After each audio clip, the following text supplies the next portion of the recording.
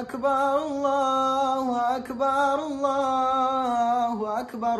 لا إله إلا الله والله أكبر الله أكبر ولله الحمد Assalamualaikum warahmatullahi wabarakatuh Alhamdulillahirabbil alamin Semuanya jadikan hari-hari di bulan suci Ramadan kemarin adalah sebuah pendidikan untuk kita semua Ibadah uh, dan juga hal-hal kebaikan Semuanya adalah proses kita untuk menjadi orang yang bertakwa La'allakum tattaqun Oleh karena itu mudah-mudahan kita tetap istiqamah ke depannya Dan juga menjadi pribadi yang lebih baik lagi Amin amin ya rabbal alamin Al-Fakir, Alwiyah Segaf dan keluarga mengucapkan selamat hari raya Idul Fitri 1443 Hijriah Minal aidin wal faizin Mohon maaf lahir dan batin. Taqabbalallahu minna wa minkum. Taqabbal ya karim. Assalamualaikum warahmatullahi wabarakatuh.